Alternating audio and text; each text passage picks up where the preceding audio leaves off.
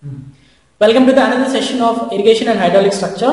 In the previous lecture, we discussed about how to calculate the life of a reservoir and how to calculate the trap efficiency. And uh, with a numerical example, we have discussed about how to calculate the life of a reservoir, how it is estimated.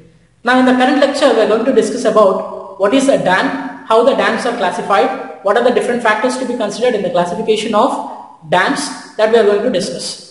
Now what is a dam? Dam is nothing but it is a hydraulic structure which is constructed on a river or natural stream to impound the water on the backside of a dam. So this impounded water for the formation of reservoir a dam is constructed. So whatever the amount of water which is stored in the dam or reservoir which will be utilized as and when required for different different purposes.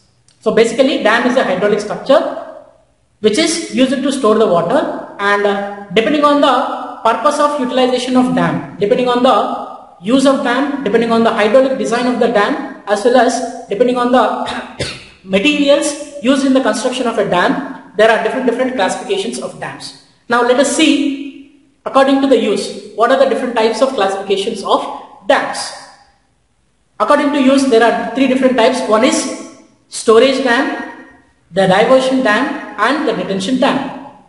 Suppose if you take an example of storage dam, what is the meaning of storage dam? The purpose of this particular dam is to store the water whenever there is a large surplus and this stored water in the reservoir will be supplied as and when required for different different purposes. For example, the water stored may be used for hydroelectric power generation as well as the water stored will be used for the cropping of downstream lands.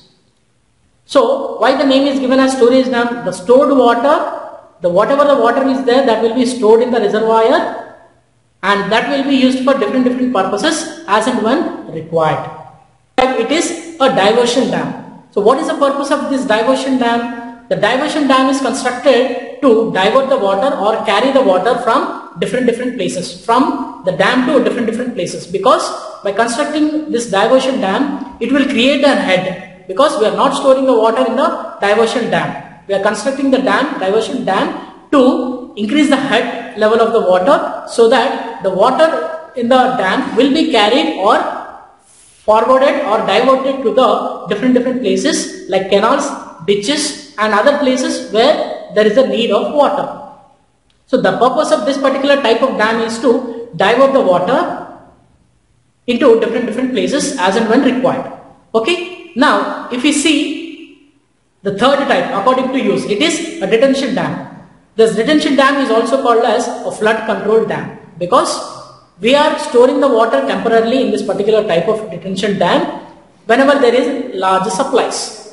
So during heavy rainfall or during heavy supplies of water the water will be stored in the detention dam on a temporary basis and whenever there is a reduction in the flood levels, whenever there is a heavy rainfall reduces, so this temporarily stored water will be released at safe rate so that there is a protection of downstream land will be there. They cannot, they are not submerged under heavy floods. So that is the purpose of this particular detention dam. Means we are diverting the water, we are decreasing the water level or water head of this particular detention dams. Now coming to the second classification. According to the hydraulic design, we have two different categorizations. One is the overflow dam and the second one is non-overflow dam. If you see overflow dam, overflow dam is nothing but it is constructed in such a way that the design is in such a way that there will be a possibility of overflow of excess water. There is a possibility of overflow of excess water over the crest. Whereas which is not possible. Overflow of water is not possible in the non-overflow dam because they are constructed at a higher height than the maximum expected flood levels. They are constructed at a higher height compared to non-overflow dam, compared to overflow dams. Non-overflow dams are constructed at a higher height so that there will not be any chance of overflow of water because there is no crest formation as like in the overflow dams. So that is a basic difference in the hydraulic design. One is allowed to flow the water, allowed to carry the water over the crest and the second one is not allowed to carry the water over the crest because there is no crest. It is constructed at a higher range. So that is about hydraulic design. Now coming to the third categorization. What is third categorization? According to the materials used in the construction. So according to the materials used in the construction of a dam, there are two classifications. One is rigid dams, the second one is non-rigid dams. Coming to rigid dams, if a dam is constructed by using a rigid material, for example, concrete, timber, steel or it may be by using masonry. So by using any one of these material, if a dam is constructed, then such type is called as a rigid dam. For example, if a material is non-rigid material is used in the construction of a dam, then such type of dam is called as a non-rigid dam. The best example of this one is uh, it may be an earth dam or it may be a rock fill dam because earth fill and earth dam is constructed by using a soil and gravels whereas rock fill dam is constructed by using a non-rigid materials uh, rocks. So that is the basic difference between rigid materials and non-rigid materials. Rigid dams and non-rigid dams. Now let us see in detail what are these different classifications and what are the key important features. Let us see. Now coming to the according to the use of dam, according to the use of a dam. If you see according to the use the first type of classification is a storage dam. The purpose of this storage dam is to store the water in the reservoir and as and when required it can be supplied for different different purposes. So example is also given Indira Sagar Dam. Indira Sagar Dam is one of the largest storage capacity of dam in India which is having a capacity of 12.2 billion cubic meters. And this particular dam is located in the Madhya Pradesh and which is impounding a water from the Narmada river. So water stored in the reservoir is from the Narmada river. Now let us move on to the next one according to the use diversion dam. So what is diversion dam? Diversion dam is nothing but a dam is constructed to raise the water head and thus there is an increase in the water head. This amount of water, whatever the water is there in the dam that will be carried or diverted to different canals, ditches or different different places where there is a need of water. So the purpose of this dam is to divert the water or carry the water from the dam to different different places. So this particular dam, the best examples of such dams are weirs and barrages. So weirs and barrages are the best examples. They do not store the water, they will be diverting or carrying the water from one place to another places. Next. Now, one of the example of this diversion dam is Bargi diversion irrigation project on the right bank canal. This dam is also one of the largest multi-purpose dam and this is also this dam is also used to divert the water from the right bank canal. This particular project is also located in the Madhya Pradesh and uh, the water impounded is the Narmada river. Now the third category according to use, third one is detention dam. What is the meaning of detention dam? whenever there is a large supplies of water into the dam, so those water will be stored in the reservoir and whenever there is a flood uh, reduction in the flood levels and this temporarily stored water will be released at the safe rate such that there will not be any damage occur to the downstream lands of the dam. Okay, so here one example is given, pictorial graph is given. Let us consider ABC is the natural hydrograph of the a channel or river stream with a discharge Q1. Now let us assume we have constructed a detention dam on this particular river channel, river stream.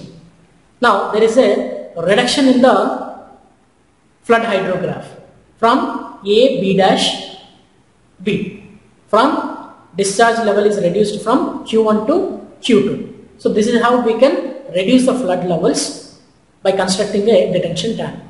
So in this detention dam, there are two types of them. Basically, there are two types. One is there is an allowance for temporarily stored water can be released from the reservoir through the outlet and uh, there is another type which is in which there is no outlet. So as there is no outlet provided in the detention dam, so the water that which is there in the backside of the dam in the reservoir that will be used to increase the water levels in the adjoining area. Because there is no outlet, the water will be sinking into the adjoining area so that the water level in the adjoining area will be increased. So such type of dams are called as water spreading dam or it may be called as a dike.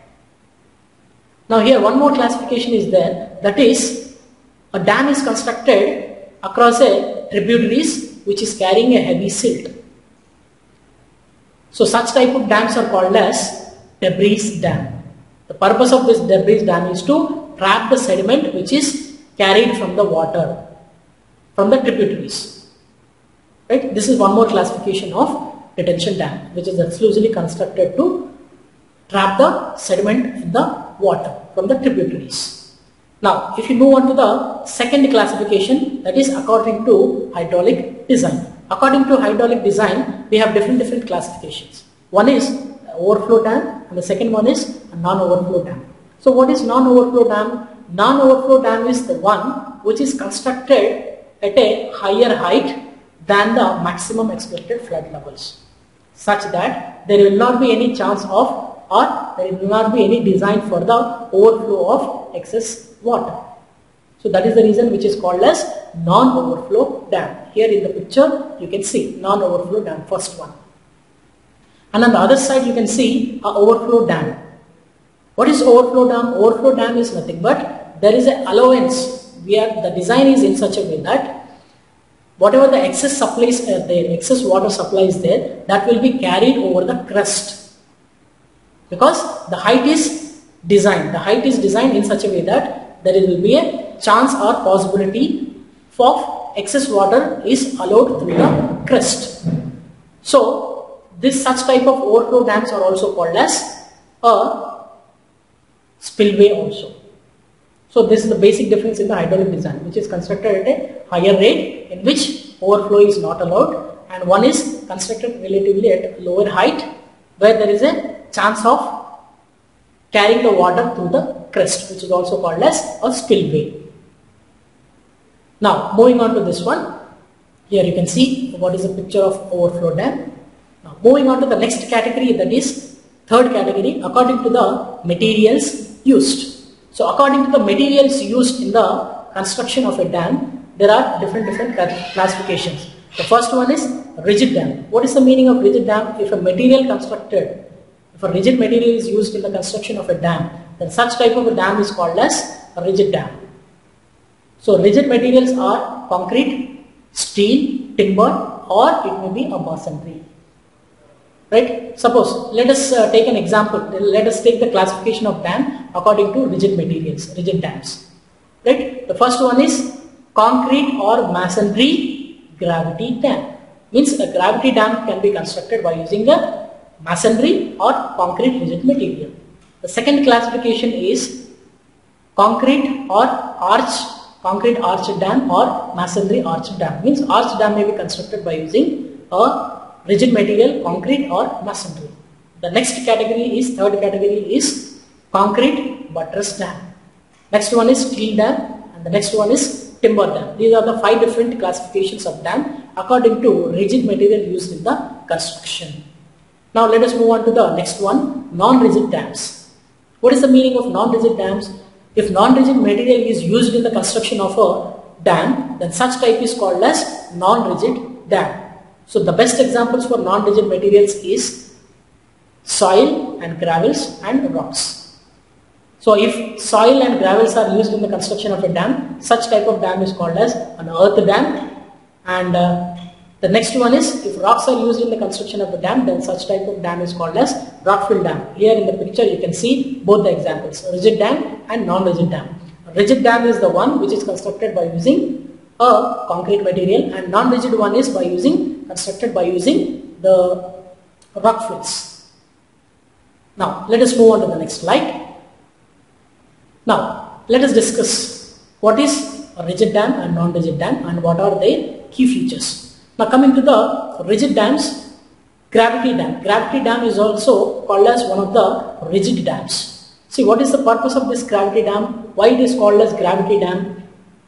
The gravity dam is nothing but it is whatever the force is acting on the gravity dam that will be resisted entirely by the self weight of this particular dam means the gravitational weight So whatever the forces acting on this particular dam will completely be resisted by the self weight of this particular dam.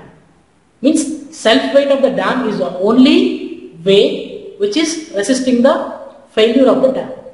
So such type of dams are made by using concrete or masonry. So where we will use masonry and where we will use concrete. If the structure is of less importance, we can prefer masonry gravity dam. If the structure is of major importance, then such type of dam is constructed by using concrete gravity dam. Okay, so gravity dam either may be straight or curved in plan as per the requirement. Now, coming to the advantages of this gravity dam. What are the different advantages? So, out of the, so many advantages, the major advantage is it is having a very longer life because the material used in the construction is very very rigid so as and also one of the another advantage is it requires very less maintenance and it is more stronger and more stable compared to the other types of dams. And one of the important advantages is if we prefer if we prefer gravity dams then there may be a possibility of spillways overflow spillways over the crest which is not possible in the non-rigid dams like earth and rock fill dams. Overflow of possibility is not available. It is possible only if we go for a rigid dam by using concrete or by uh, masonry only. Right now, these are the important advantages of gravity dams. Now, let us see the disadvantages of gravity dams. See, these gravity dams need more stable foundation, rock, strong rock basis uh, suitable. So, it is constructed only on sound rock it cannot be constructed on a permeable or less porous rocks. And the next one is it is high initial cost. It requires very high initial cost. Though the maintenance throughout the life is very very less, but the initial cost of construction is very very high.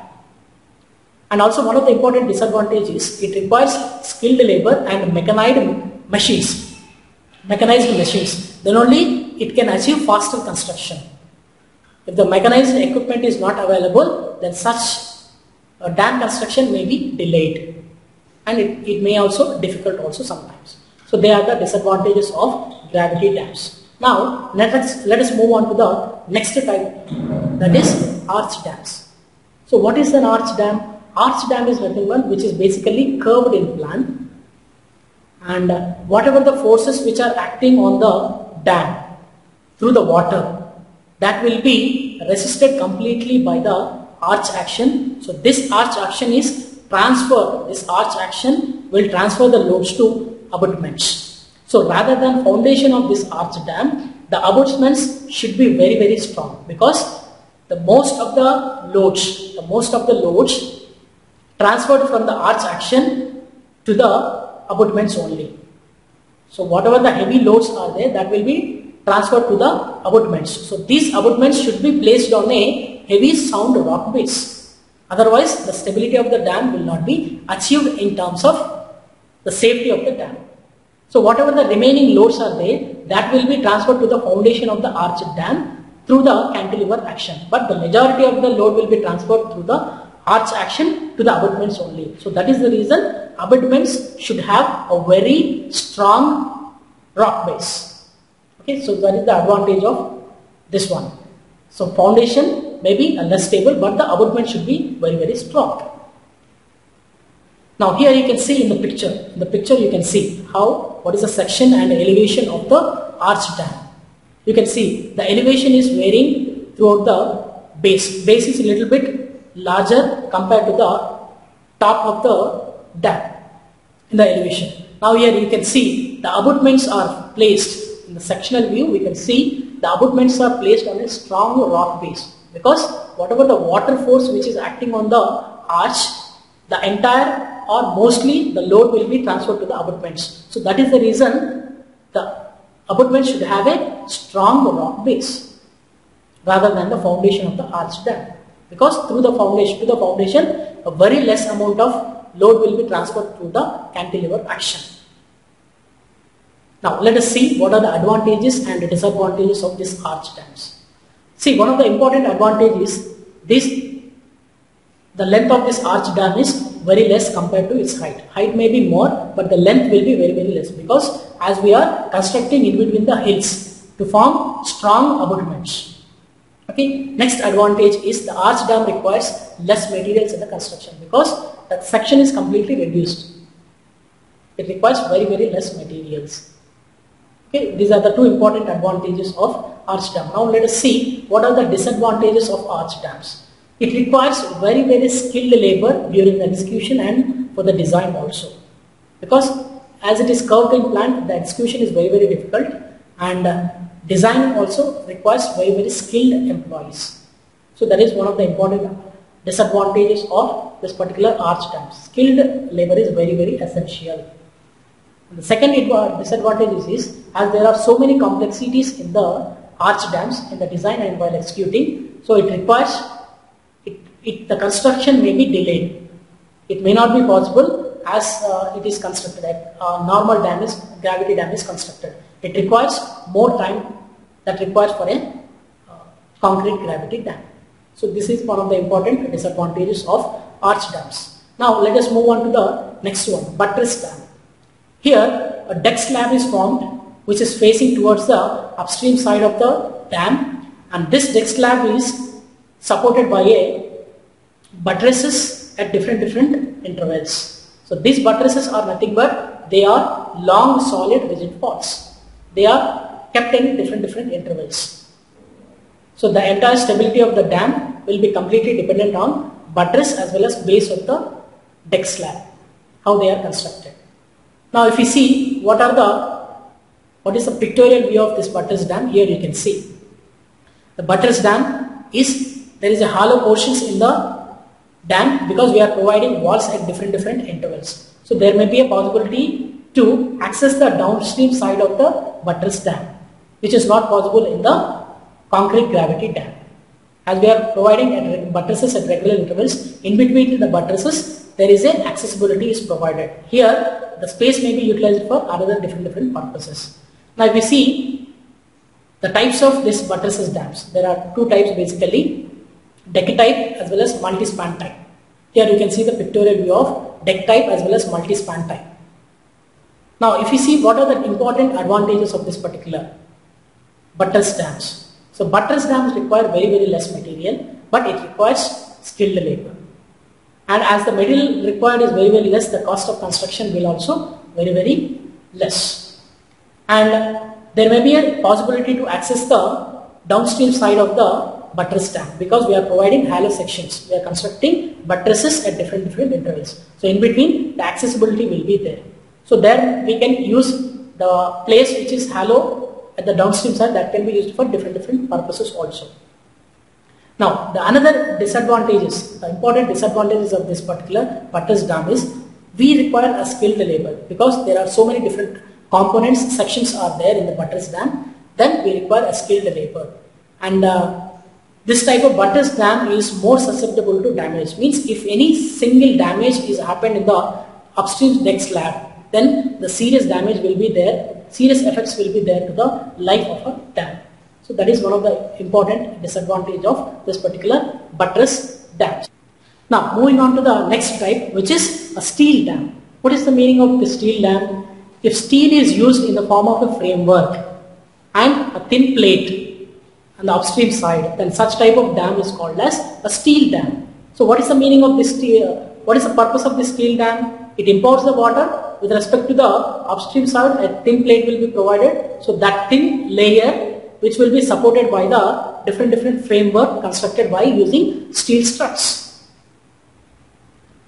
So in India there is uh, no such type of dam is available. You can find it in the foreign countries and other different countries.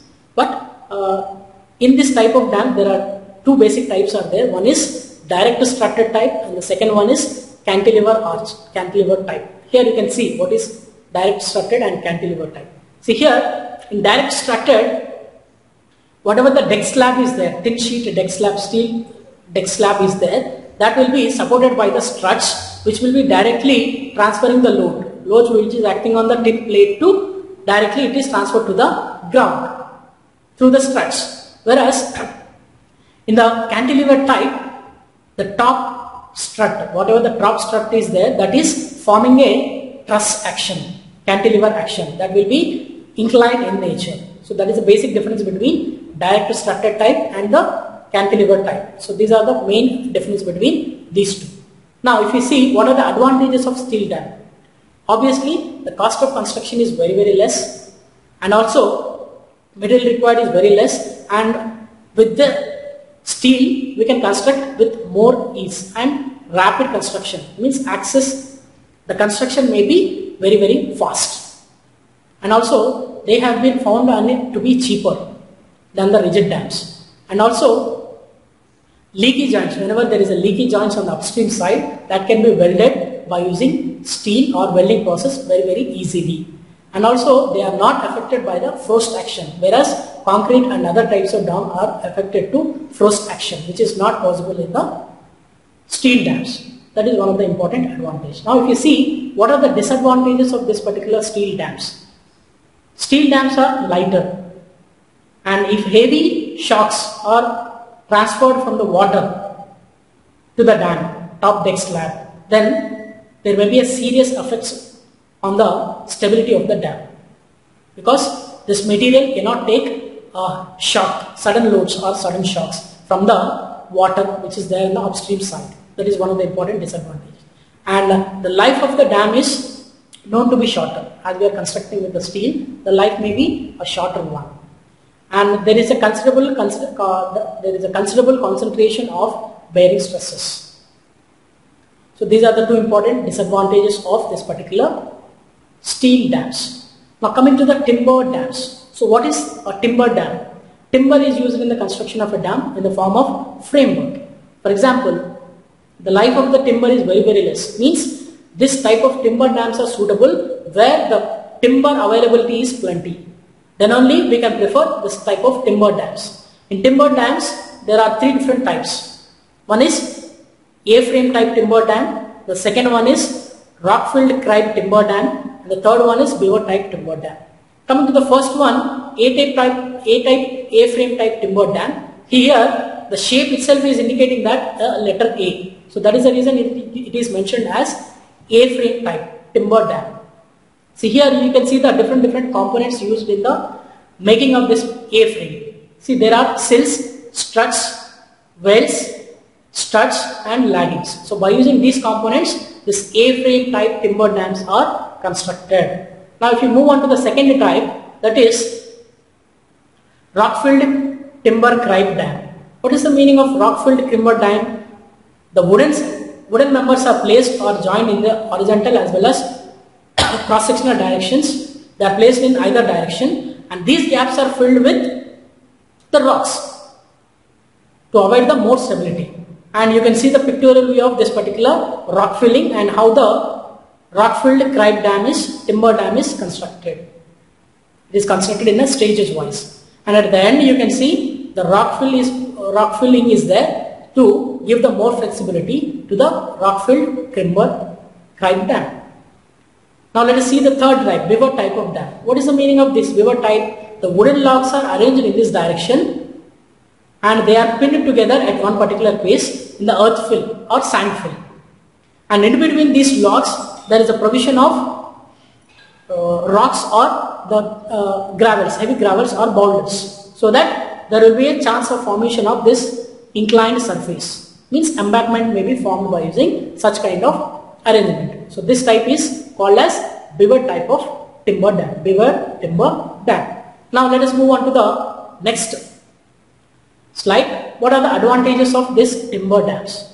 Now the one of the important, advantages is its initial low cost. And the second one is suitable for any type of foundation.